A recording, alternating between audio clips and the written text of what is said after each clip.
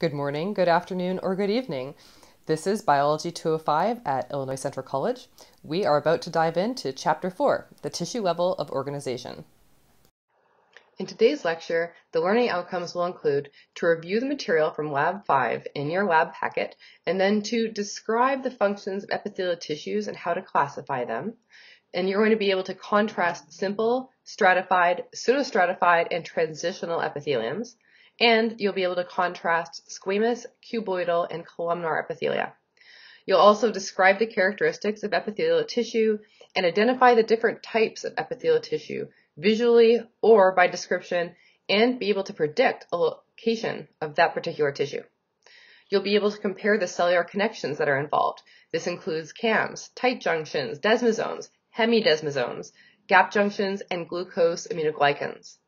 You'll contrast the structures of endocrine and exocrine glands and describe the different types of secretions, including merocrine, apocrine, holocrine, serous mucus, and mixed exocrine. Also, you'll be able to contrast the difference between unicellular and multicellular glands, and you'll be able to review multicellular glands, but there's no assessment for that specifically. You'll also list the functions of connective tissue and classify connective tissues according to their structural characteristics of the matrix. You'll be able to contrast loose and dense connective tissues.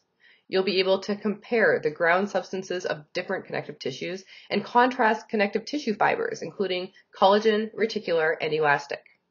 You'll also be able to identify cells of connective tissue. This includes fibroblasts, macrophages, adipocytes, melanocytes, lymphocytes, erythrocytes, chondrocytes, and osteocytes. And you'll be able to identify the different types of loose connective tissue visually or by description, and provide a location of that tissue for the following for areolar tissue, adipose tissue, or reticular tissue. Lastly, you'll be able to identify the different types of dense connective tissue visually or by description and provide a location of that tissue for dense regular, dense irregular, and elastic. And you'll also be able to identify the different types of cartilage connective tissue visually or by description and be able to provide a location of that tissue. This includes hyaline, elastic, and fibrocartilage. You'll also be able to identify the different types of fluid connective tissue visually or by description, and be able to identify the cells. So this includes erythrocytes, leukocytes, and platelets. You will be able to identify and describe osseous tissue. You'll be able to justify the presence of lacuna in bone and cartilage and name the cells that are occupying the lacuna in each, respectively and describe the basics of muscle tissue, the structure, and be able to visually and descriptively differentiate between the three different types of muscle. Now, you're going to cover that in a lot more depth when you go into A&P2 next semester. And then you'll be able to identify the function of the nervous system and differentiate between the neuron and neuroglia, and explain the characteristics of the four types of membranes, mucous, serous, cutaneous, and synovial. No lecture of mine would be complete without some pop quiz questions along the way. So before we get started, a group of similar cells with a similar function is a or an organ, tissue, organism, or organ system.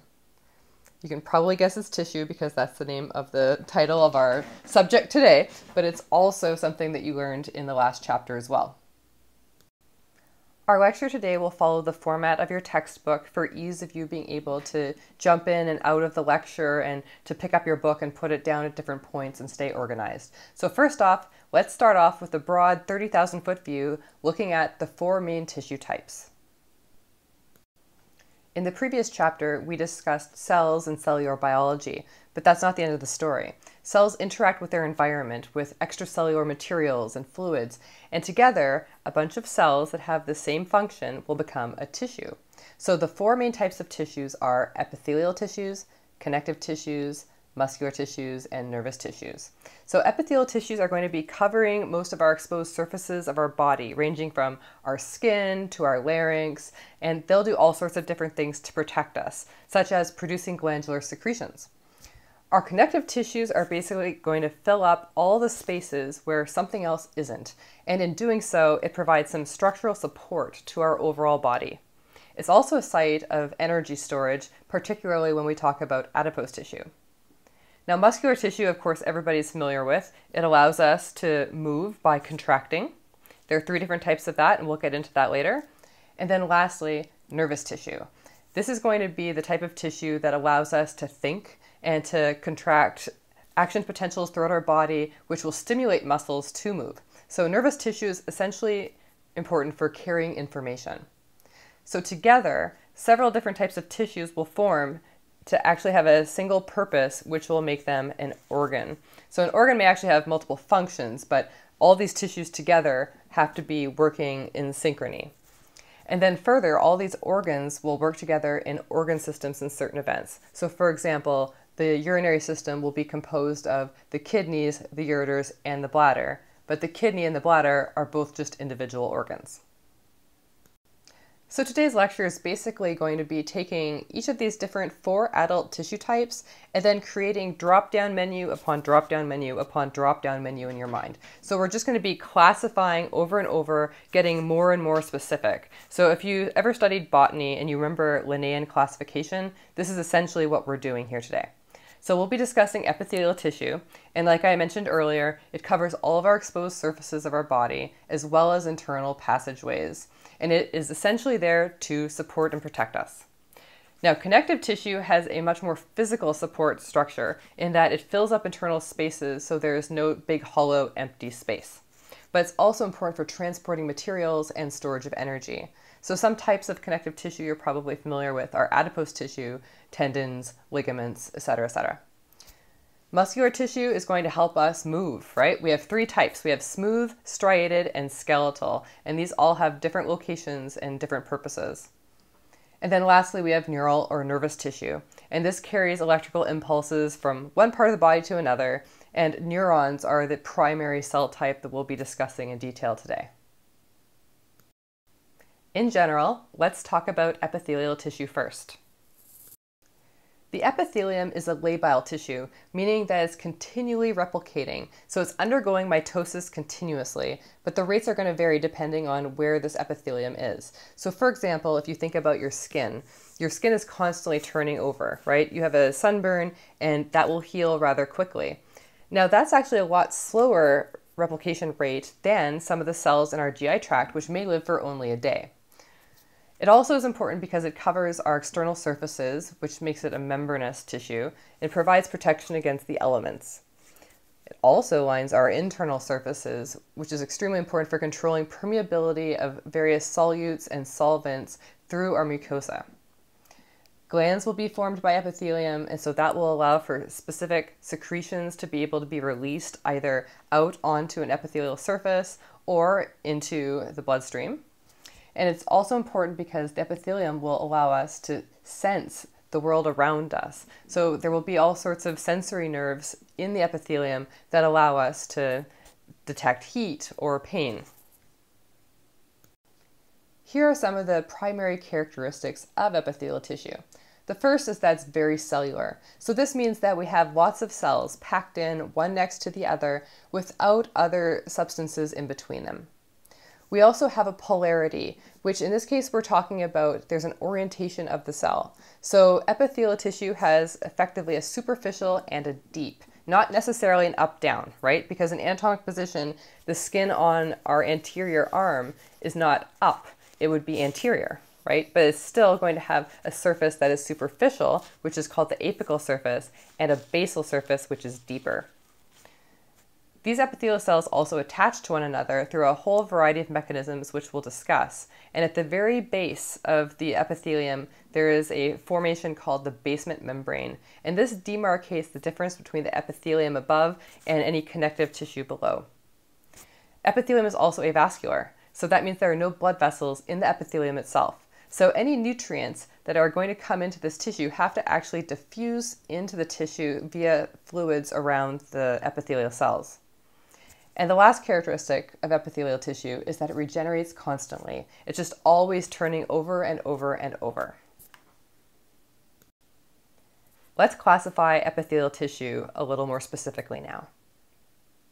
Membranous epithelia, meaning epithelia that just isn't glandular in nature, has a couple different features to it. The first is that apical and basal surface, right? So it has polarity. So the basement membrane is actually composed of non-living tissue but it is important to demarcate the difference between the epithelial component and the basal lamina. Cells are going to adhere to one another through a variety of mechanisms, and there's very little extracellular matrix because this is such a densely cellular tissue type. Also, again, remember it's avascular, so there are no blood vessels in the epithelium. So if you see an image of tissue that has a blood vessel in it and you're thinking maybe it's epithelial, just you can immediately rule it out right away on any quiz or exam. And then also, uh, it's specialized for things like absorption, secretion, filtration, diffusion, and protection. As we've discussed before, function follows structure, right? So in this case, we have the structure of having more layers of epithelial cells, which will create a greater level of protection in any areas that are subject to friction or assault from chemical elements. There's also permeability that's controlled through the epithelium. So we have a selectively permeable membrane again in our epithelium, so that way only certain substances will pass through into our extracellular fluid. It's also responsible for passing substances through our body and secreting things in both glandular and membranous epithelium. And it absorbs nutrients and water, which is important when you think about our gastrointestinal tract. And again, sensation. Figure 4-2 in your text shows a standard image of a cell that's epithelial. And you can see that there are some features here that you recognize from our lectures last week and some things that are new. So in this case, you see that there is an orientation. This looks like a cell is standing up like a refrigerator so that you have the nucleus down at the bottom and then up at the top we have some cellular extensions like cilia and microvilli, right, which we've discussed before. So the surface that is most superficial, which is up at the top with the cilia and the microvilli, is the apical surface because this is towards the apex. And then down at the very bottom, down at the basement membrane, which separates the cell from any other connective tissues below, is the basal surface. So you will not see cilia or microvilli on the basal surface, but you will see them at the top. Why? Well, let's think about their purpose. Cilia are going to be there to help wave substances along. And then microvilli are there to increase surface area for absorption. So if you could imagine that at the top of this image here, those cilia and microvilli are extending up into the lumen or the opening of our gastrointestinal tract anywhere along the way. Let's talk about hypothetically the duodenum. In the duodenum, those microvilli are going to be very important for absorbing all sorts of nutrients from our food. So you can see a couple other structures that you're familiar with. The Golgi apparatus for one, because remember that the Golgi apparatus is going to be secreting tissue out of the cell. And so in tissues like epithelia, where you have a specific luminal or exterior or superficial surface, that would be the direction the Golgi apparatus would be secreting its product out towards. You'll also notice that there's a separation in the middle of the image between the two different cells, and these are called the lateral surfaces. It's just the sides of the cell, basically. And we differentiate them because the lateral surfaces connect to one another, but they don't connect to the basement membrane and they don't connect to the apical surface. The apical surface is different than the lateral surfaces and the basal surface. There are a variety of cellular connections, and these are important because it maintains the integrity of our epithelium. So these connections will hold one cell next to the other. So one of the primary ones is cellular adhesion molecules. These are proteins that essentially will just bind one cell to the next. There are also GAGs or GAGs, which are glycosaminoglycans, which are things like hyaluronic acid. And these form a protein sugar like cement, and they'll fill in the gaps in between the CAMs or the cellular adhesion molecules. And so what that does is it prevents luminal contents from spilling down in between the epithelial cells. So if you think of it this way, if you have two cells side by side, you need some sort of cement to seal those two bricks, if you will, together. So the gags are going to basically be that glue or cement in between the two bricks, which are the cells. And so that way we don't have things like stomach acid oozing down into the wall because an acid like that could be very irritating and in fact could destroy the integrity of the mucosa. So this is a really important function. Figure 4-3 in your text shows you an overview of the different types of ways that cells join with other cells. In some cases, they'll be joining tightly to not allow any passage of material in between the two cells. In other cases, we'll allow some diffusion of certain things to be able to pass through. In other cases, we're just anchoring that cell down so it doesn't just float away. So let's talk about these in a little bit more detail. Tight junctions are found right at the apical regions of epithelial cells, and their purpose is to prevent any luminal contents that are up by the superficial aspect, presumably in the lumen of something like the digestive tract, from getting in between the cells and causing damage. So they're held together with an adhesion belt or a belt desmosome. Epithelial tissues will need to definitely keep certain contents of the lumen in the lumen and not in between the cells, but they also need to communicate in between each other laterally. So, for example, in cardiac muscle, one cardiac muscle has to transfer information to the next cardiac muscle to coordinate contraction and to make sure that this happens in unison rather than sporadically. So gap junctions are an important feature because what they do is they allow for diffusion of certain ions and small molecules to pass between the cells via connexons.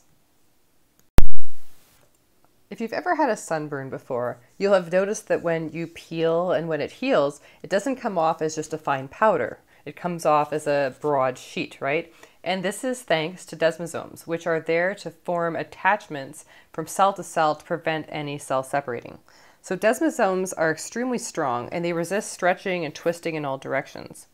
They're also connected to a dense area that's connected to the cytoskeleton in each cell. So this is a really great feature to be able to contribute to its strength. There are two different types of desmosomes, and we'll talk about this in the next slide. Figure 4-3 in your text shows you examples of spot desmosomes and hemidesmosomes, but the short of it is that spot desmosomes are just basically these small discs, and they connect bands to intermediate filaments, and that just helps to stabilize the shape of the cell.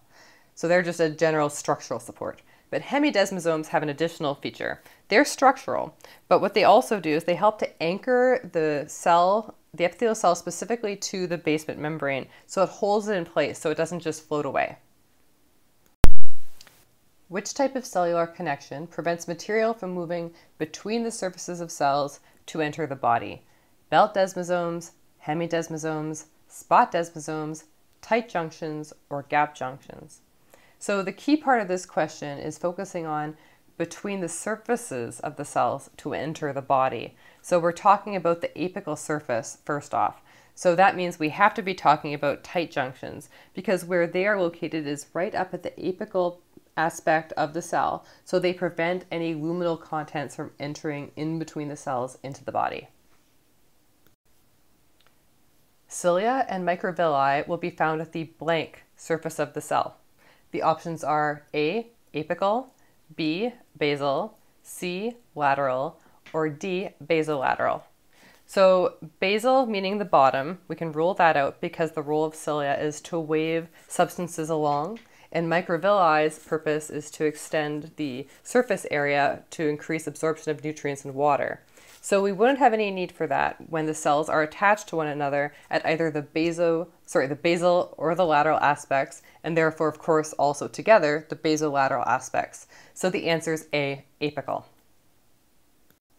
Next, we'll talk about the classifications of different types of epithelia. This can be a little bit complicated in that there are a lot of different types of epithelia, but nonetheless, it's pretty straightforward, and I highly recommend that you take some time to draw this out in your notes, each individual type, and that will help you to keep it clear in your mind the differences between and among the different types of epithelia. When you begin to classify a type of epithelium, you'll want to look at the shape of the cell that is at the free surface. That is the apical aspect, right? So when you look at that, that's going to be the starting point for figuring out which subtype of epithelium we're discussing. So first we'll think about, is it squamous? So squamous cells are kind of squashed flat, and that's important because having a flatter surface means that there is less distance for any type of fluid or solute that would need to diffuse in or out of the cell. So they're much faster diffusion.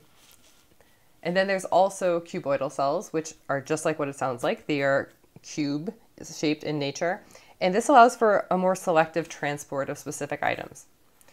We also have columnar cells, which are shaped like tall columns. So these are cells that are taller than they are wide. And these allow chemical reactions to occur as the molecules pass through the length of the cell. And then lastly, we have transitional cells. And these are a little bit more difficult. They're irregular and they'll transition between shape to shape. So we'll have to look at this a little bit more carefully to make this a little bit more clear. But the point of transitional tissue is that it can stretch without separating. So it's got a very important purpose. We'll discuss that a little bit more coming up. So in addition to looking at the shape of cells at the free surface, we also need to look at how many layers there are of cells. So we'll divide that up into a couple categories. If there's only one layer of cells, then it's just called a simple epithelium. However, if there is more than one layer, then we'll call it stratified because there are strata or layers of cells. And then lastly, there is something called pseudostratified, and pseudo meaning false. So it's falsely stratified, which means it looks like there's many different layers, but there aren't. It's falsely stratified. There's only one layer, and the nuclei actually are all different levels, but each cell will contact the basement membrane. So the image that you see on the right, which is table 4-1, shows you the difference between squamous, cuboidal, and columnar cells at the apical free surface in the different orientations of either being simple, which is just a simple single one layer, or stratified, where we have many. We're going to talk about this in more detail in the coming slides.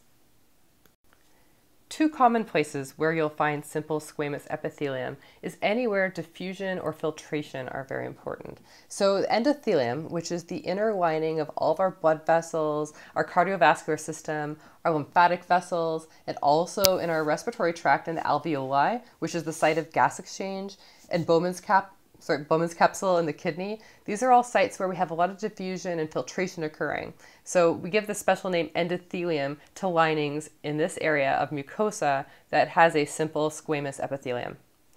In the serous membranes, for example, the mesothelium, we'll also expect to see a simple squamous epithelium. So what you'll see here is the image that you look at below, where you have a sheet of these cells all laid out next to one another. And what we're looking at is the sheet laid out, so you're looking at it from above. This is a different angle than what we looked at previously, where we were looking at a cross section showing you up and down of a cell. This is not showing up and down, this is just showing the layout of it side to side. So you can see how they attach one to the other. There's a fair amount of cytoplasm with a single nucleus in each cell that's fairly obvious and easy to see. So you can see both the schematic and the actual light microscopy at the right. And so we'll see a simple squamous epithelium in a lot of different places in our body. Stratified squamous, again, is identified by looking at the very most superficial aspect. So if you look at the top of the two images at the bottom, you'll see that the cells seem squashed down, even though the cells at the bottom seem like they are much rounder. That can be a point where people get confused. So don't look down towards the basement membrane at the bottom of the epithelium where it meets the connective tissue. You want to look up at the free surface, at the very top here in this case, and you'll see that those cells are squashed flat. So because they're squashed flat, they're squamous, and because there are multiple layers of these cells, it's stratified squamous. So this is important because anything that has a stratified squamous epithelium is a surface where we're expecting some sort of assault to the tissue, whether it's just friction or whether it's a chemical assault. It's basically there to allow additional protection for the underlying tissue. Stratified squamous epithelium can be subdivided into either keratinized or non-keratinized epithelia. And this is just indicating the presence or absence of keratin, which is the substance that creates our hair, our skin surface, our nails. So it's a firm, dense surface that is acellular. So in the image on the left, you'll see the keratinized sample, which is on the right, has this wide pink band all the way across the top that is absent in the non-keratinized sample. So non-keratinized epithelia has to be kept moist because otherwise it would lose moisture through the apical surfaces. So we'll see non-keratinized stratified squamous epithelium in our mucous membranes, so largely in our mouth and in our nose and our nasal cavity. The vagina, esophagus, urethra, and rectum are all non-keratinized stratified squamous epithelia. Now, keratinized stratified squamous epithelia is water resistant, right? So our skin is water resistant, otherwise we would just prune up all the time if we ever got wet. So this keratin protein is very important for protection against both water and abrasion. So keep in mind that the keratin is dead. There is nothing there that's actually alive and it is avascular. So let's discuss another simple type of epithelium. So simple meaning only one individual layer of cells and cuboidal they're in the shape of the cube, right? So in this case, you have an image at the bottom right, which shows you a single duct. You're looking at a kidney tubule here, and on each side of the kidney tubule, there's exactly one cell layer. And you see that it is a three-dimensional structure, so that's why it looks like it's kind of two layers on the top. But this is truly just a single cellular tube. So you'll find this type of tissue in kidney tubules, uh, surfaces of the ovaries, salivary glands, and pancreas. And what you want to look at here to be sure that you're looking at a cuboidal cell is the, nu the nucleus. Where exactly is it? In this case, it is right in the dead center of the cytoplasm. So because of that, and that there's a perfect amount of cytoplasm all the way around the nucleus, you know it's not columnar, it's not shaped tall, and it's not squashed flat like a squamous cell. So by default then, if it's a cube-shaped cell in a single layer, you have a simple cuboidal epithelium. Stratified cuboidal epithelium is a rare bird. You're really not going to see this too many times, and people don't try to trick you often on tests or quizzes with this because it's a trickier type of tissue to identify. So with a stratified cuboidal epithelium, it's stratified again, meaning multiple different layers, and cuboidal. So that means the cell at the apical surface is cube in nature. So you can expect to see typically only two to three layers of cells and you'll see this in things like your sweat ducts, salivary glands, and pancreatic ducts. Now, transitional epithelium is exactly what it sounds like. It transitions. So it means it starts one way and can become another. So the very best example of transitional epithelium is the lining of the urinary bladder. So we all know that we can sometimes hold a tremendous amount of volume if we really have to in our bladders. And in that case, our bladder is stretched out like a balloon, very, very thin. So the wall becomes thin, and also that means the mucosa, which is the epithelium, it has to stretch and then go back to normal afterwards after we've urinated as well. So the image that you see here, which is figure 4-5 from your text, shows you the image of when you have an empty bladder versus when you have a full bladder. So with a full bladder, what you have is a much more thinner looking epithelium. But when the bladder is empty, then it can go back to its normal shape, which means that the wall will actually become a little bit thicker. So you'll notice here you have an irregular surface of cells and up at the epithelial surface it's very difficult to tell what you're looking at, right? So if you ever feel like, I don't know what I'm looking at, this looks crazy, it's probably transitional.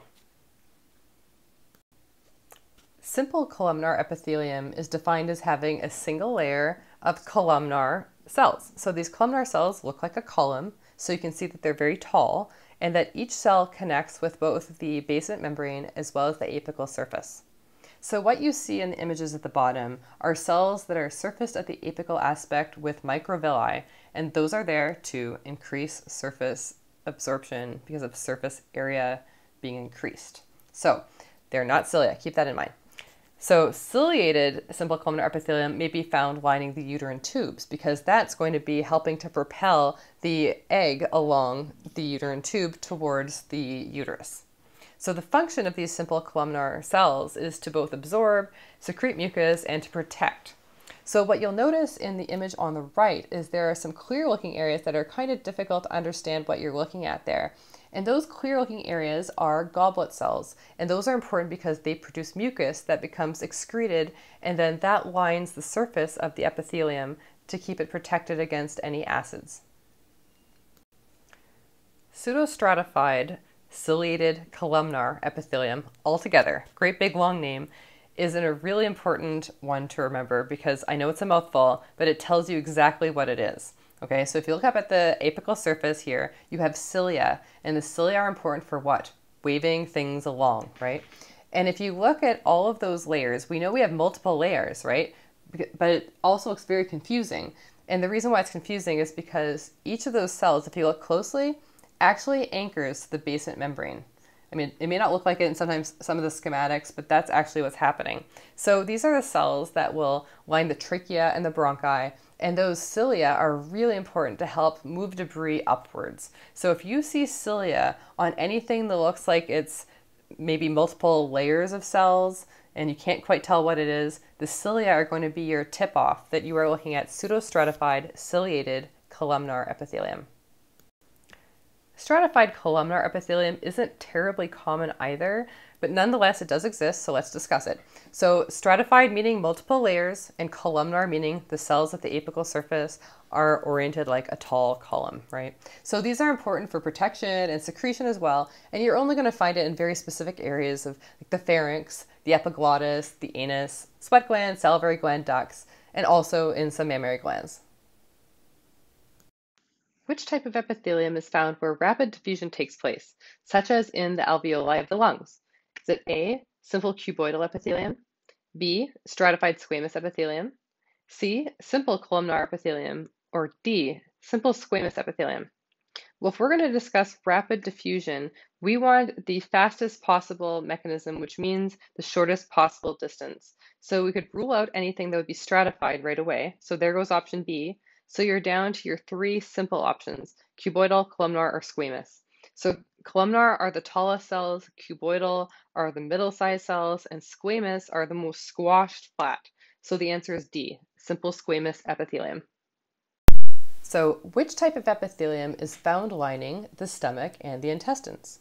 Is it A, a simple squamous epithelium, B, a stratified squamous epithelium, C, a simple columnar epithelium, or D, a simple cuboidal epithelium? Well, Let's think about what each of these are before we try to just jump to an answer. So we know that squamous cells are small and flat, and so there's not a lot of space for things to have to diffuse through, so they can diffuse through quickly. So the stomach and the intestines don't require that in the same way that, for example, the respiratory system would in the alveoli. So we can rule out A, simple squamous epithelium. And then let's talk about simple cuboidal, because that's the next step up in complexity in the way that we discussed it earlier. So cuboidal cells are slightly larger, but they're typically going to be found in places like the kidney, and so we can rule that out too. And then we can look at, is it going to be simple columnar or stratified squamous?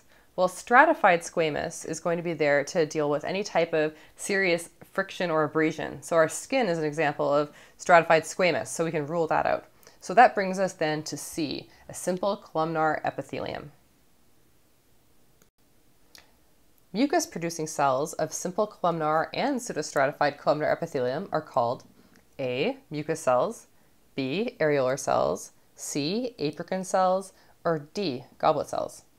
So, trick question. Mucus cells and goblet cells are synonyms, so both would totally be acceptable responses.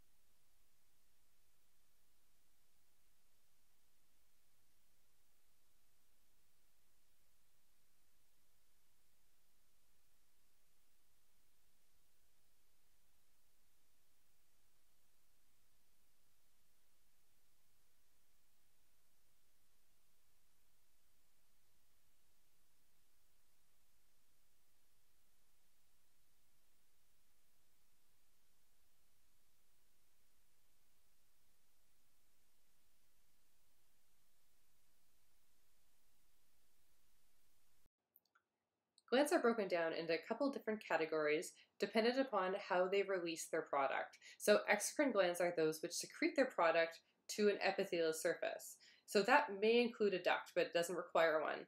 A couple examples of exocrine glands are tears, perspiration, and lactation. So for in the example of tears, your lacrimal gland, which is in the lateral aspect of your eye towards the most superior aspect, it is going to release tears via the lacrimal duct which will then drop the tear into your eye so that way fluid can wash away anything that may have got into it.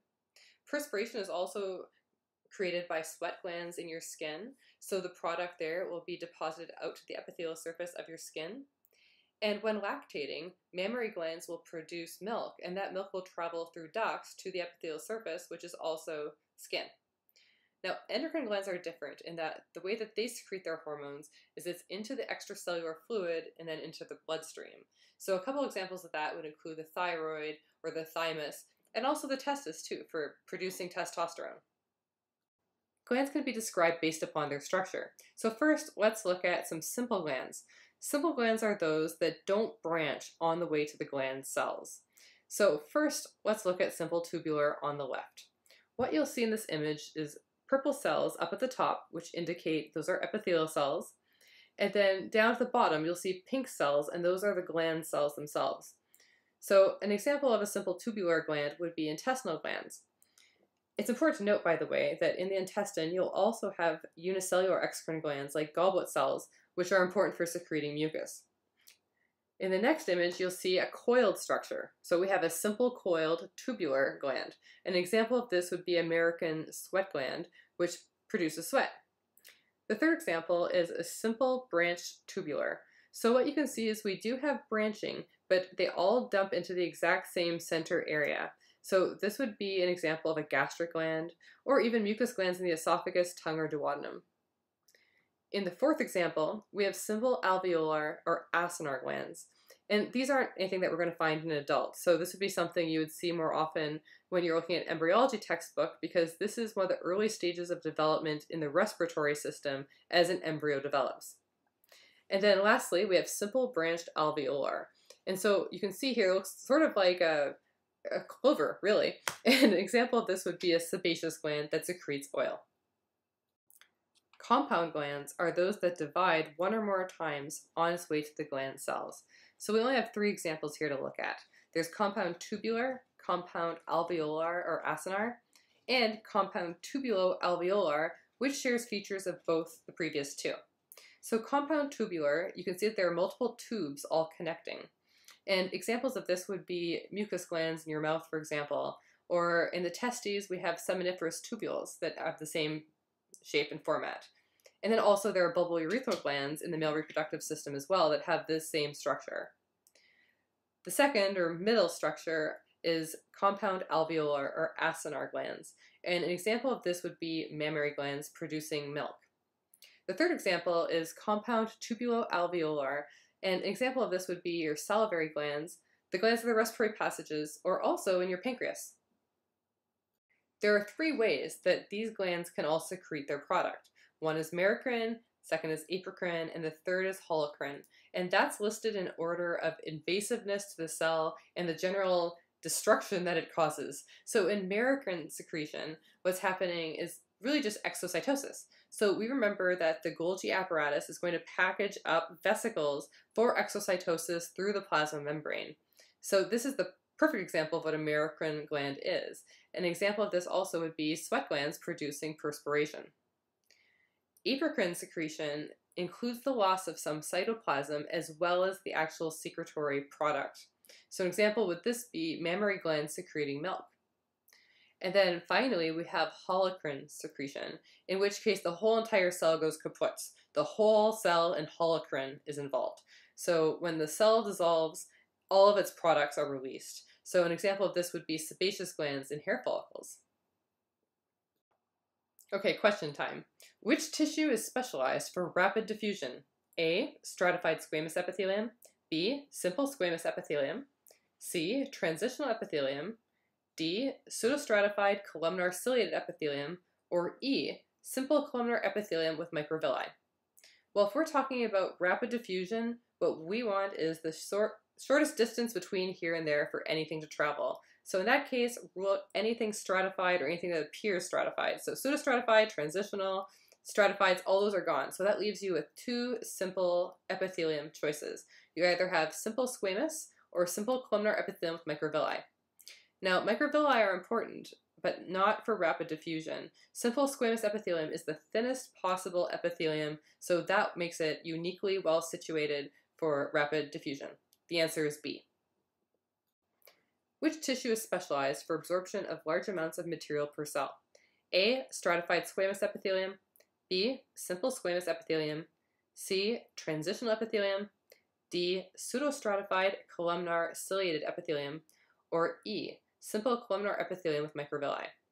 So stratified squamous epithelium is great for friction, like our skin, for example. So we can rule that out. Simple squamous epithelium can also be ruled out because we know that's the thinnest possible squashed down layer of epithelium possible. So that's great for diffusion, but not for absorbing things. Transitional epithelium is tempting because we know that transitional epithelium is present in the bladder and it allows it to transition from being very full and distended to just back down to normal size. So that's tempting, but the question asks you for large amounts of material per cell, not per the actual organ of the bladder. So we'll rule out C. Which brings us to D, pseudostratified columnar ciliated. Well, we don't need cilia necessarily to answer this question, so that might be a distractor. But then we see E, simple columnar epithelium with microvilli. And microvilli's purpose specifically is there to increase surface area. And why would we want to increase surface area? For absorption of water and nutrients. So the correct answer is E, simple columnar epithelium with microvilli. Great news, everybody. If you're noticing that things sound different, it is not just you. I just got a new headset and I think that this sounds way better. So I'm hoping that you enjoy it as much as I do. So, which tissue is specialized for adapting to an organ's change in volume? Is it A, stratified squamous epithelium, B, simple squamous epithelium, C, transitional epithelium, D, pseudostratified columnar ciliated epithelium, or E, simple columnar epithelium with microvilli? Well, I've kind of given this away before, but transitional epithelium transitions, right? So it adapts to an organ's change in volume. The bladder is the best example of this, and so the answer is C, transitional epithelium. Which tissue is specialized for moving fluid across the surface of the trachea?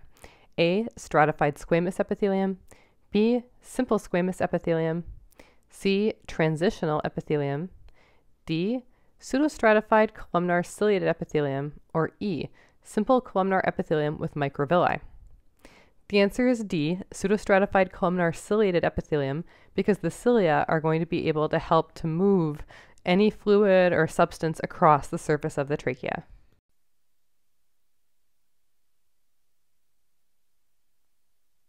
Let's move into section 4-4, connective tissue. Connective tissue is kind of an unsung hero in the body in that you don't think of it, people take it for granted, but it's so important.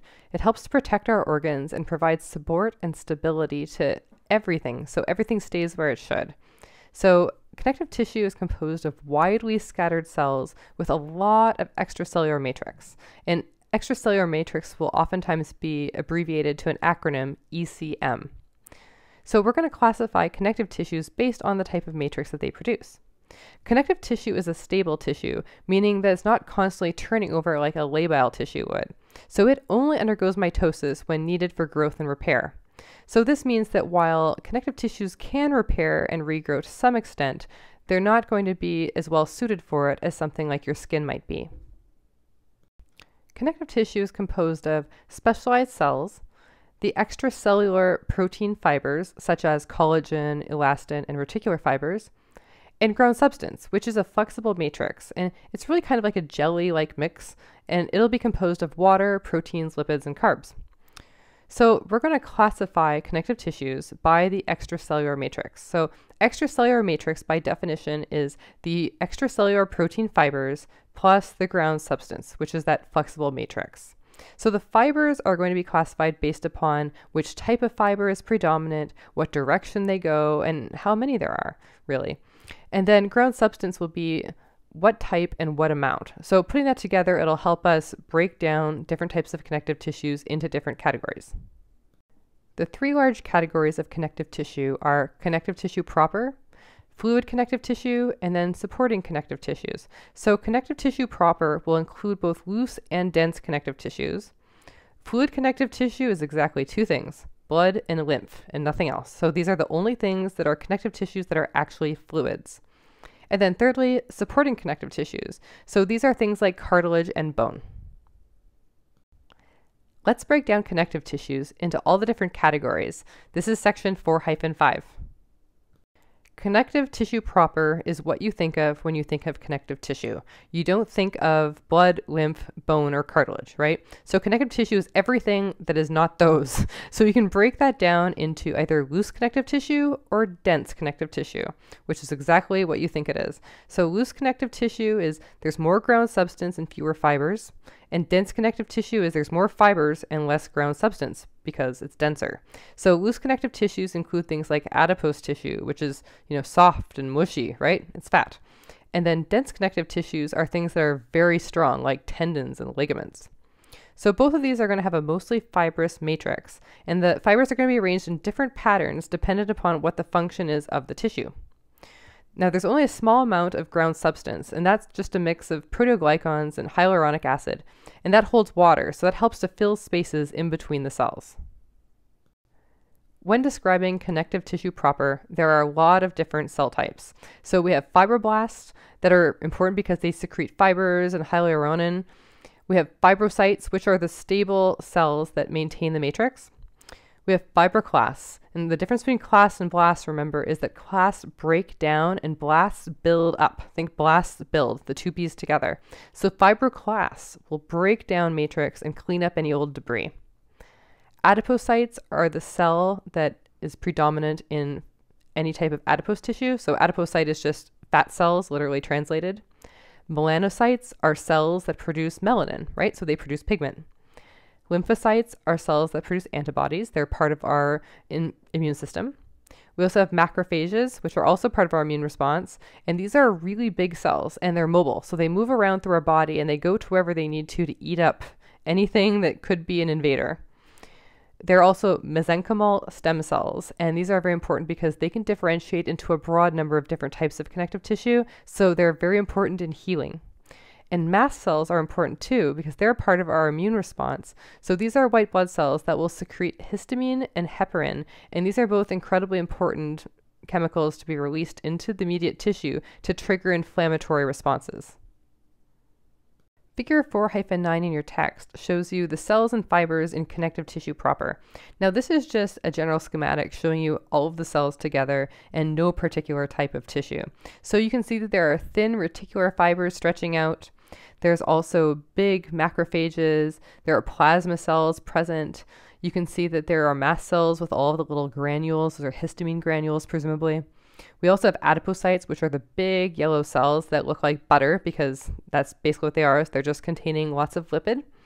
And we also have mesenchymal cells. Those stellate or star shaped cells are the stem cells, which will help to rebuild tissue after it's been damaged. The three types of connective tissue fibers are collagen, reticular, and elastin. So, collagen fibers are big, pink, long, strong protein ropes, basically. And these will resist stretching in one direction primarily.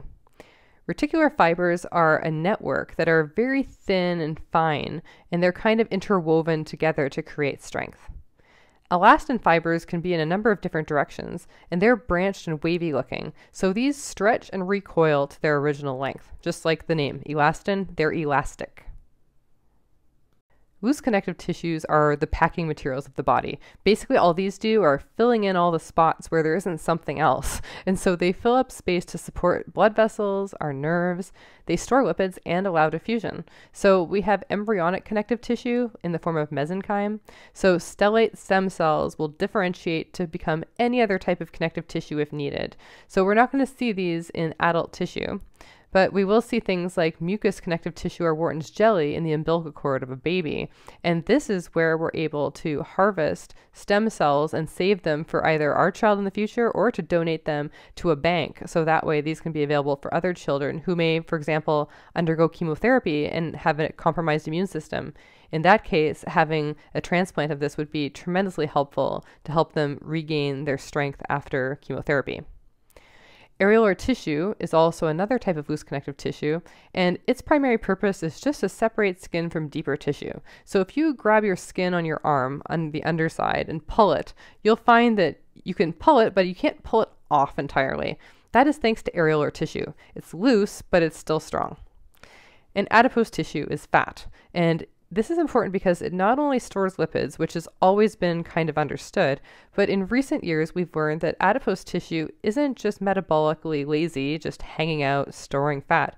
It's actually metabolically active and is constantly re- rebuilding and expelling its contents over and over again. So let's look at areolar tissue.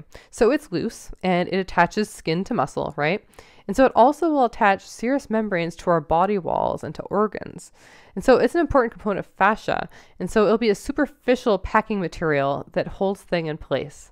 So if you look at the image below, it's figure 411 in your text. You'll see a schematic on the left and then a light microscopy image on the right. And you'll see all these broad pieces of pink tissue, which are collagen fibers.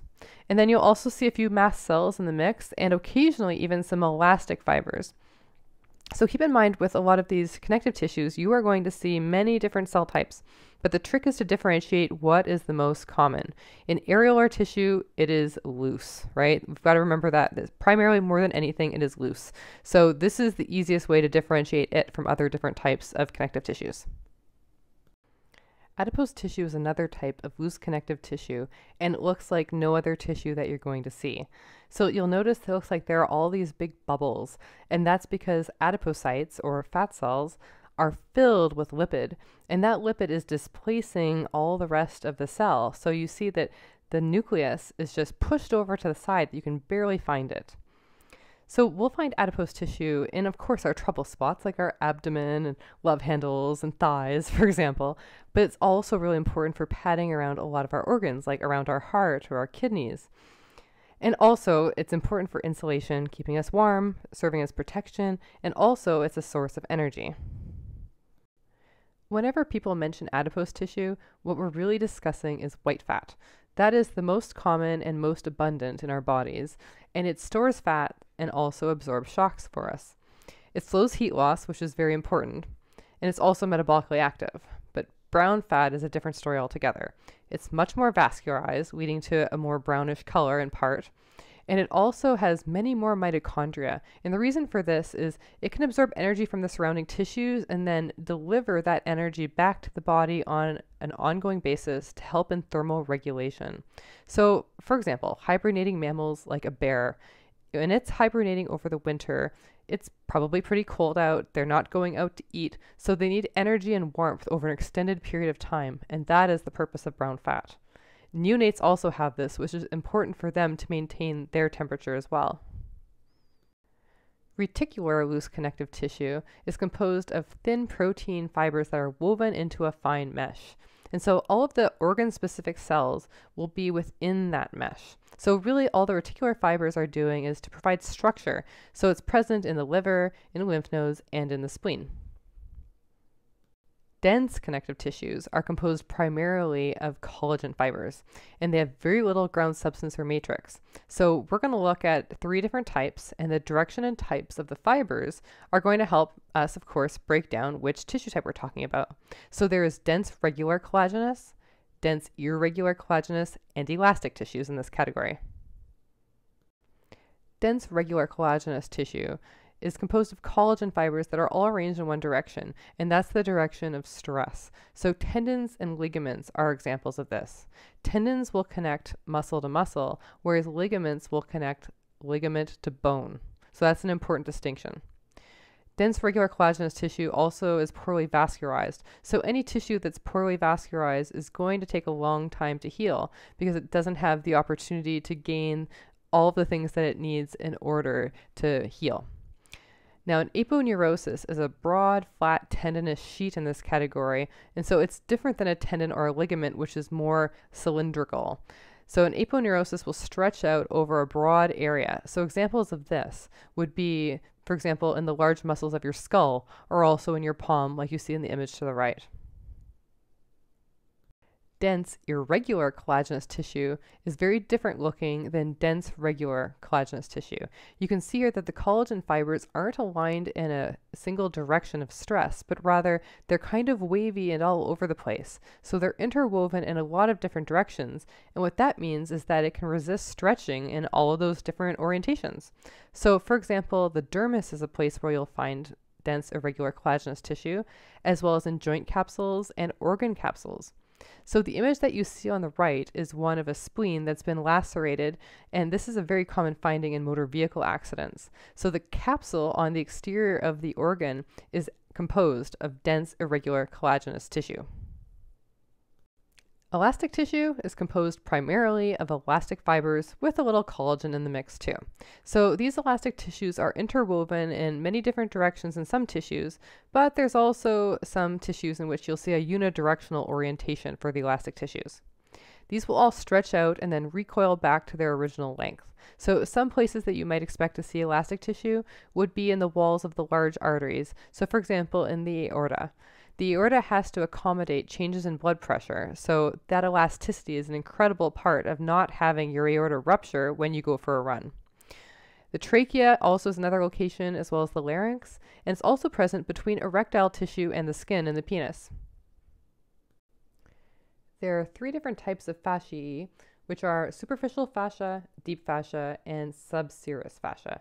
And what these all are really are just connective tissue layers that support and surround different areas. So superficial fascia will be found in the hypodermis, so underneath the skin, and we'll see both areolar and adipose tissue here. Deep fascia is going to be what composes visceral capsules, and it's involved in tendons and muscles, and it's composed of dense connective tissue. Subserous fascia is going to be in between the deep fascia and the serous membrane, and it's composed of alveolar tissue. Figure 413 in your text demonstrates how all three types of fascia can be shown in this one image here. Let's move on to fluid connective tissues, section 4-6. So as I mentioned before, there are only two fluids that qualify as fluid connective tissue, and that's blood and lymph. And so this is a fluid matrix with specialized cells. So what is lymph? Well, lymph comes from blood plasma, and it's formed by the interstitial fluid that enters into the lymphatic vessels. So once that fluid starts circulating, then immune cells use that to transport so they can monitor and respond to any external threats. Lymph is also very important in maintaining homeostasis for our bodies because this is a site where nutrients, toxins, waste, and blood volume can all be monitored and adjusted. Blood is primarily water, so it's a watery matrix called plasma.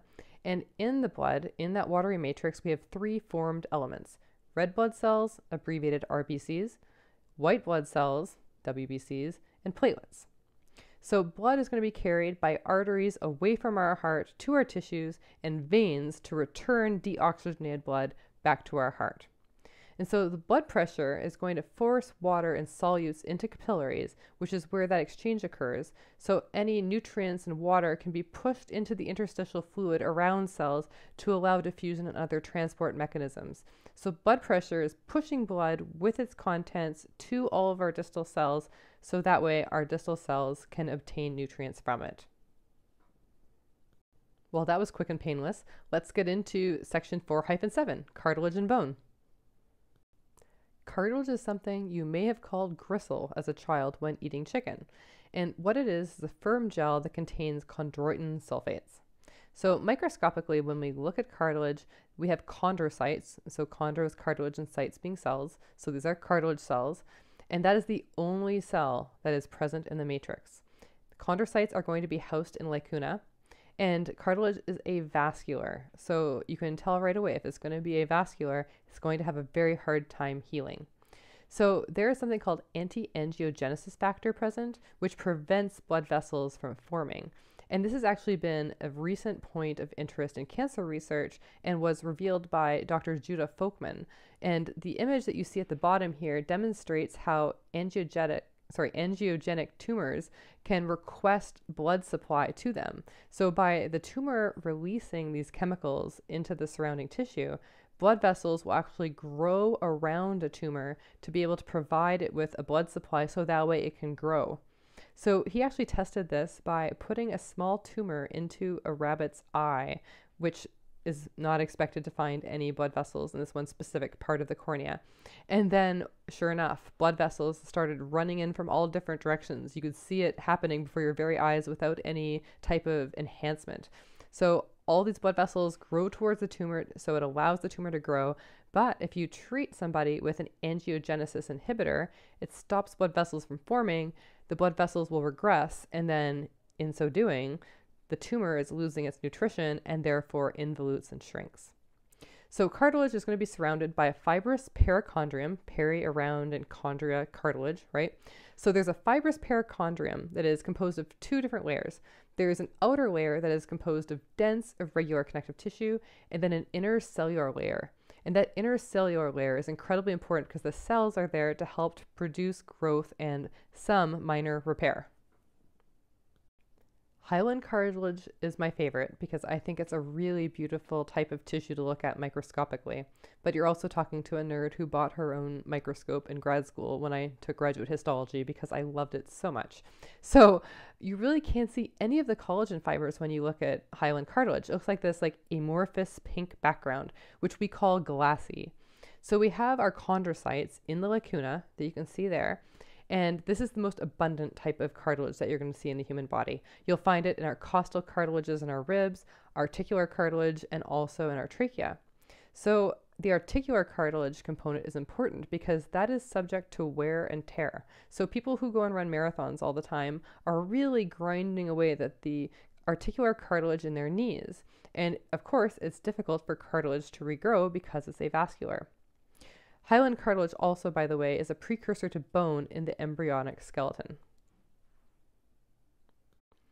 In elastic cartilage, the most prominent type of fiber is elastin. You guessed it. so that makes it, of course, very flexible. So examples of places you might expect to see elastic cartilage are going to be in the auricle of your ear, the outer ear, and also in your larynx. Fibrocartilage is extremely tough. The name tells you that. Fibro meaning fiber and cartilage. It's fibrous cartilage. So the collagen fibers are very prominent and they are bundled together for strength. It makes it incredibly durable. So it is in places where we really need structure. So for example, our intervertebral discs, also the pubic symphysis and the menisci of our knee. Now, keep in mind our intervertebral discs are there to pad and cushion our vertebra. So that's incredibly important and also is of note to me because I've herniated a disc in my neck at a certain point in my life and required surgery because one of my intervertebral discs bulged out and impinged on a nerve lateral to it, requiring emergency surgery. So that fibrocartilage, although strong, is not totally indestructible. Cartilage can grow in one of two methods. One is interstitial growth and the other is appositional growth. So in interstitial growth, we have cartilage that grows from within. So the daughter cells of the chondrocytes are going to produce additional matrix as you see in image A above. So by dividing, they're producing more matrix from within. In appositional growth, it's kind of the opposite because what's happening is the cells are producing more and more cartilage that is on the outer surface, kind of like a shell. So, interstitial growth is what contributes to the majority of the mass of our cartilage in our bodies, but neither of these two things occur in adults. This is only a developmental mechanism. Which connective tissue has a fluid extracellular matrix? A. Blood. B. Dense regular fibrous tissue. C. Areolar tissue. D. Adipose tissue. Or E. Elastic cartilage. Well, there's only one of these that's fluid, so the answer is A, blood.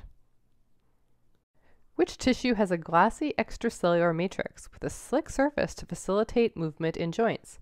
Is it A, osseous tissue, B, dense regular fibrous tissue, C, adipose tissue, or D, hyaline cartilage? Well, A, osseous tissue is bone, so that's not going to be it. Dense regular fibrous tissue would be things like tendons or ligaments. So while that helps with movement, it's not in joints. Adipose tissue is obviously important for a million reasons, but has nothing to do with movement in our joints. And hyaline cartilage, that is the wear and tear component of our joints. So the answer is D, hyaline cartilage. All right, let's talk about bone, which is also known as osseous tissue. So bone is calcified by a collagen protein matrix with calcium phosphate. So the calcium phosphate helps to calcify the bone. The osteon is the functional unit of bone, but the osteon is not a single cell. An osteon is actually composed of several cells. So each osteocyte is an individual cell. And as you can see in the image below, the image on the left is showing you that there are multiple osteocytes in the lacuna, which is similar to chondrocytes, right? And it is all structured in concentric circles, it looks like, around a central canal. If you're looking at different textbooks or images, you may find the name Haversian canal as a synonym for central canal. So the bone is very vascular, but keep in mind it's going to be tricky to be able to get fluids and nutrients in. So we have a system called canaliculi, which are these finger-like extensions that allow for the exchange of vascular fluids and nutrients and things like that. So bone is surrounded by periosteum, meaning around the bone. And it has two layers, a fibrous outer and cellular inner, just like we discussed previously in cartilage. And we also have two different types of bone. We have compact and cancellous bone. And compact is the dense cortex that you'd expect to see in most bones, and cancellous is just another word for spongy. Section 4-8, tissue membranes. While we talked about mucous membranes previously in earlier chapters, you probably have a different understanding of what a mucous membrane is now that we've discussed cellular biology in the previous chapter and epithelium in this chapter. So, mucous membranes are those that line cavities that are open to the outside world, like our mouth, for example. And it has areolar tissue in it to support it that has a different name. We call it lamina propria when we refer to the areolar tissue in the mucous membrane. So either mucus or fluid is going to be responsible for protecting our mucous membrane. And you'll find this in our digestive tract, our respiratory tracts, urinary and reproductive tracts. So mucous membranes are everywhere. Serous membranes now are closed membranes, so there is no communication with the outside world in any way. The inner layers of a serous membrane are going to be epithelial, but the outer layers are connective to give us some rigidity and strength. So in the cavity between the layers it's filled with a watery serous fluid, hence the name serous membrane. And of those, we have layers that are both visceral and parietal, thinking parietal is peripheral and visceral on the viscera. The cutaneous membrane is effectively skin, so it is totally epithelium covering the exterior surface of our body. Now, our skin doesn't produce mucus, thank goodness, or we would all be goopy and it is composed of a stratified squamous epithelium, so that way if we bump up against something, we don't immediately desquamate and bleed. So that stratified squamous epithelium is very important for us to be able to walk around, wear clothing, and live in the world without falling apart. It's also thick and waterproof to some extent. Synovial membranes have the unique responsibility for creating synovial fluid which cushions joints, which another word for joint is articulation. So around certain joints, we'll have a fibrous capsule, and that is what is filled with a synovial fluid to allow padding in between the two. So think of this as basically a water-filled balloon in between two bones. So if you have two bones pushing on opposite ends of the water balloon, you'll see the water would kind of push out on opposite directions. And that's exactly the way a synovial membrane functions full of synovial fluid. So the synovial joint is requiring movement to make sure that we prevent degeneration. So you'll see that there's a note in your textbook that indicates that people who are bedridden and don't move around very much will end up having joint degeneration. And this is a very important reason why when we have patients who are either on bed rest or who are comatose, that we will actually move them to make sure that they don't have joint degeneration. Synovial membranes have two different layers. There's an areolar tissue layer and also an atypical epithelium. And the reason that's atypical is it's not like normal epithelium. So first off, there's no basement membrane to separate the epithelium from the subcutaneous tissue. There are also up to one millimeter gaps in between the cells. Now think about that. That's kind of crazy, right? Like all the other epithelial tissues, they are packed in tight next to each other. They are hypercellular. There are desmosomes and hemidesmosomes and gap junctions, tight junctions, all of these things to hold cells together tightly and to only allow certain specific things to diffuse. But in synovial membranes, there can be up to a millimeter of space in between the two. So that's pretty fascinating. But keep in mind, this is a closed in unit to the world, right? There's no outside influence. So we have less risk of things like infection. Now, fluids and solutes are constantly going to be exchanged back and forth between the capillaries and the synovial fluid. So this is always an active process of generation, infiltration, et cetera.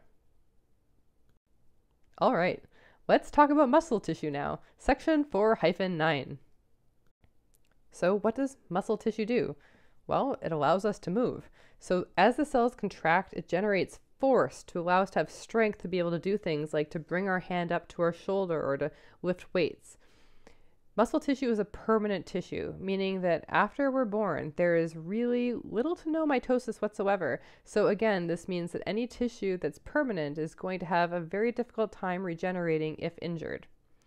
There are three types of muscle skeletal, smooth, and cardiac. We'll differentiate between these in the coming slides.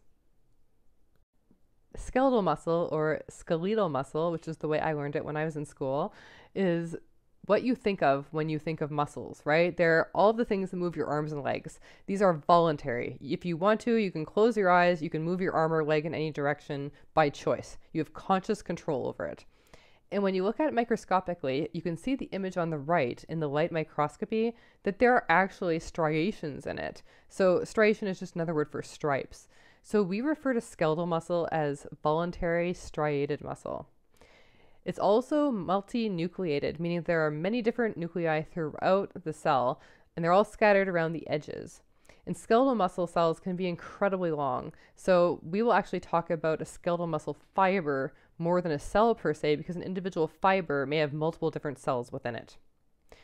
There is something called myosatellite cells, which are really just stem cells. And what they'll do is they'll help to rebuild new muscle fibers as needed. Although keep in mind, Muscle cells, being part of a permanent tissue body, will not regenerate very easily. Cardiac muscle is found specifically and only in the heart, and it is similar in some ways to skeletal muscle in that it is striated. So you can see it down at the light microscopy image on the right. The striations are present, except instead of being multinucleated, there's only one or two nuclei per cell.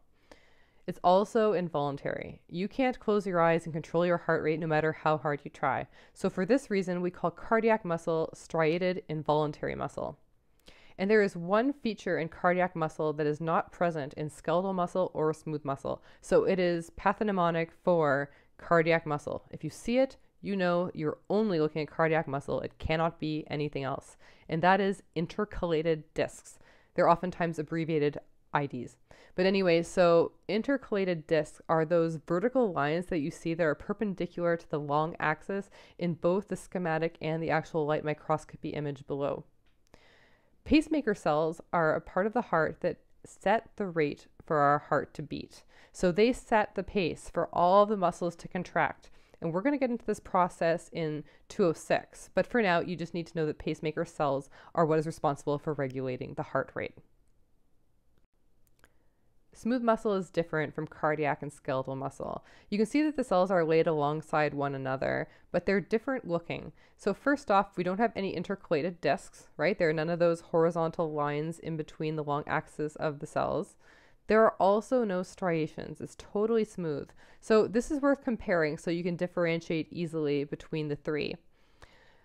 Smooth muscle is also involuntary. You cannot make it contract if you want to. So you can find smooth muscle, for example, in the uterus. So women can try as long as you like. You cannot make your uterus contract if you want to.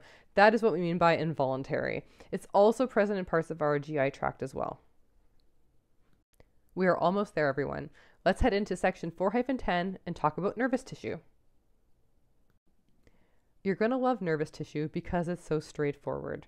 Just like when we talked about the fluid connective tissues being either blood or lymph, when we talk about nervous tissue, you have only two cells you need to know neurons and neuroglia. So, neurons are what you think of when you think about how do we think? How do we carry electrical signals called action potentials? That's all neurons. Neuroglia is like the cleanup crew that runs around and takes care of neurons. So they're there to support the neurons and to repair and provide nutrients. And they're just kind of hanging out. They're not really part of our thinking process at all. So neurons are structured with one or more receiving dendrites that will receive an action potential, a cell body then that will transmit it out to an axon that will send that message out to other different cells, other neurons specifically.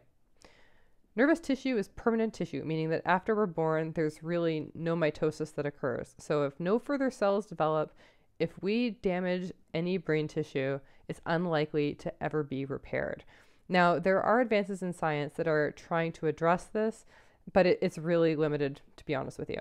And then on top of that, keep in mind that you have alternative pathways that if you do lose function of a certain part of your brain, it's possible to regain that capacity through alternate pathways. So, for example, I have an uncle who, back around the time I was born, had a terrible car accident. He was in a coma for months and he had to learn to walk, talk, and eat all over again. And he did. I mean, he totally did. You would never know that he had this terrible brain injury because he was able to learn all of these things. So, our neurons are really incredible, and we'll talk more about this in coming chapters. Here's an image of nervous tissue showing you the difference between neurons and neuroglia. So in the light microscopy image at the top left, you'll see the major structure occupying the majority of the image is a neuron. So in the very dead center, we have the nucleolus in the nucleus. And then we have the cell body around it that you can identify. All those little tiny dots that you see floating around in the strata around it are neuroglia. Those are our supporting cells that help phagocytose things and also to provide nutrients to the neurons.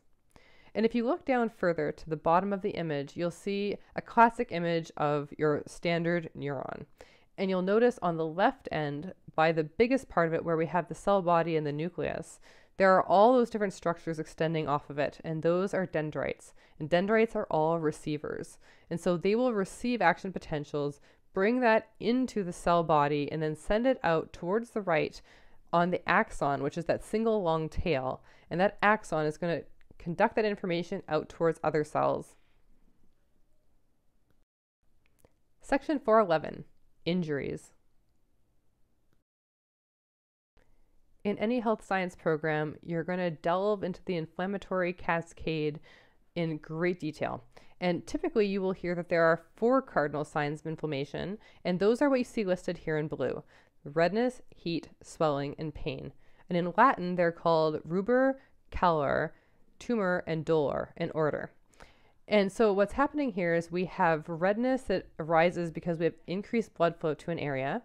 And because we have that increased blood flow, that also creates more heat on the area. So if you put your hand on somebody's arm where they have an inflammatory process, it'll be both red and warm. There's also swelling that will occur, and that's in part from the increased blood flow, but more than that, it's because we have increased permeability of our blood vessels that occurs in an inflammatory process. And altogether, those are going to trigger nerve endings to cause pain. But the fifth sign of inflammation is that it results in a disturbance of function. Whatever tissue it is can't operate normally because it's undergoing this inflammatory process. Figure 4-21 shows you a general overview of what happens in an inflammatory process. So let's say that hypothetically there's some sort of infection that arises, in which case mast cells, which are floating around in your bloodstream, they will get to that area, and when they arrive, what they'll do is they will release several hormones and chemicals like histamines, heparin, prostaglandins. And when they release this into the surrounding tissue, it triggers a whole cascade. So it starts off with vasodilating, which opens up the blood vessels so that way they can hold more blood. And that's great because by bringing more blood to the area, we're able to bring in more white blood cells and other helpers that will help to heal whatever it is we're trying to address. And then after that, we also have an increase in the permeability of the walls and the capillaries. So normally our blood pressure would force different nutrients and fluid through the capillaries into the interstitial fluid so that way distal cells can receive all that information. But in order to get all of that good stuff to an area that's been damaged or injured, the capillaries basically open up to take more. So as a result, all sorts of fluid is going to swell into that area. And so now you have swelling and redness because of that increased blood flow and increased fluid. And all of that in turn triggers your nerve endings to be stimulated, and that gives you pain. So, that is the overall pathway of how inflammation works in a nutshell. We've talked a lot in this lecture about which tissues can and which tissues can't repair themselves, and that's something to note as you study. Some other terms you should know about tissue repair include necrosis. And necrosis is tissue destruction or dying, basically. And pus is what's formed when we have debris and dead cells and other tissue components that are necrotic all together. So you've seen pus, I'm sure, at some point in your life. You've fallen down, you've skinned your knee, and you see that yellow, opaque material. That is pus. It is a purulent exudate that is trying to help clean the wound. And if that pus ends up localized in an area and can't get exposed to the outer world to drain away, we develop what's called an abscess, which is basically a pocket of pus, more or less. Also, tissue can regenerate, hopefully, but not all types can. Um, but if a tissue regenerates, then we're great, right? The tissue goes back to functioning normally, it looks normal, everything's fine.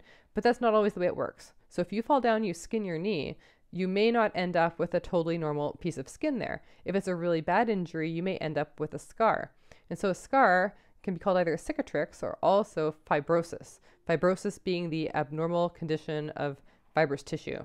So you know that when you look at scar tissue that it's dense, it's like kind of pinky white, it's firm, it's different than the surrounding skin, and that's because it's made of collagen. It's connective tissue. So we have connective tissue replacing epithelial in replacement. Lastly, section 4-12, aging. Aging is generally unpleasant. Everything I'm about to list sounds awful, right? So when you age, your epithelia are all going to become thinner. So that means that we're subject to a lot of different things. Things may permeate that shouldn't, or skin may tear, for example.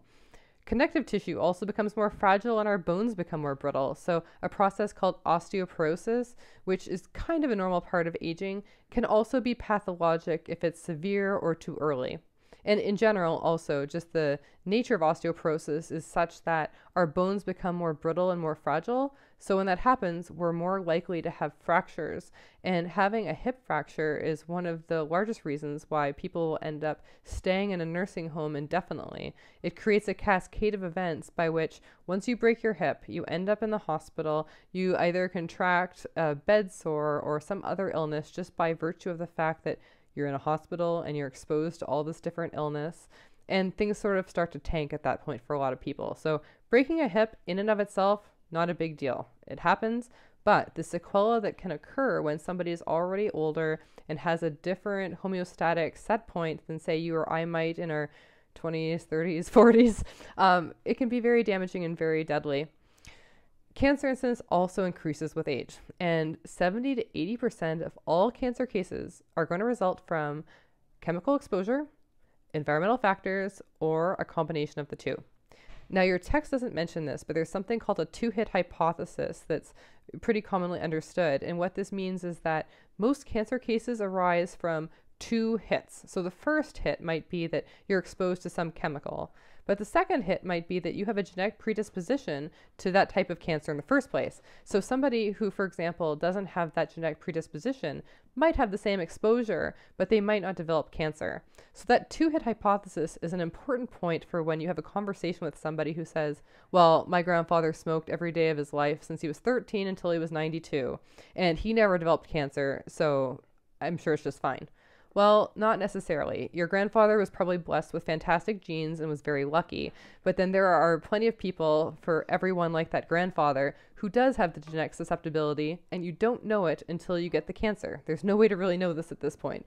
So it's altogether possible that somebody who smokes for five years could have the exact opposite situation where they're very vulnerable to that chemical exposure and they develop a malignancy early. Anyway, that's my great news ending for you. So, anyway, thank you so much, everyone. These are the references that I've used for the lecture today. You can see, of course, I've drawn on our textbook, but I've also pulled in a few other images because I really just wanted to build it up a little bit more for you without bogging you down. So these are the references if you'd like to check them out. Again, I just want to say thank you, everyone, for staying with me through to the end. I very much appreciate your attention. If you have any questions, please email me. I'm happy to Zoom with you. I would love to see your faces other than just on your data sheets. So please do reach out to me with any questions whatsoever. And I hope that you did great on exam one, and I will talk to you soon.